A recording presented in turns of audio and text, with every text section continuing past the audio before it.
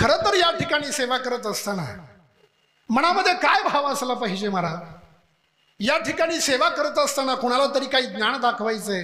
कुणाला तरी काहीतरी अभ्यास दाखवायचा असं काही नाही मला ज्यावेळेस गोस्वामी तुलसीदास जी रामकथा लिहित होते ना त्यावेळेस एकाने गोस्वामीजींना प्रश्न केला का हो महाराज तुमच्या अगोदर हजारो लोकांनी रामकथा लिहिलेली आहे. आता तुम्हाला वेगळी रामकथा का लिहावी वाटते? असं काय तुम्ही वेगळं लिहिणार आहात?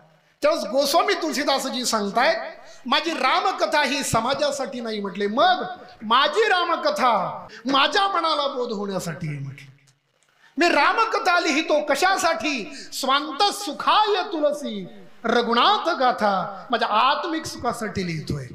अजून कशासाठी रामकथा लिहिता? तर सांगतात निज गिरा पावन करण कारण माझी वाणी पवित्र होण्यासाठी मी रामकथा लिहितो.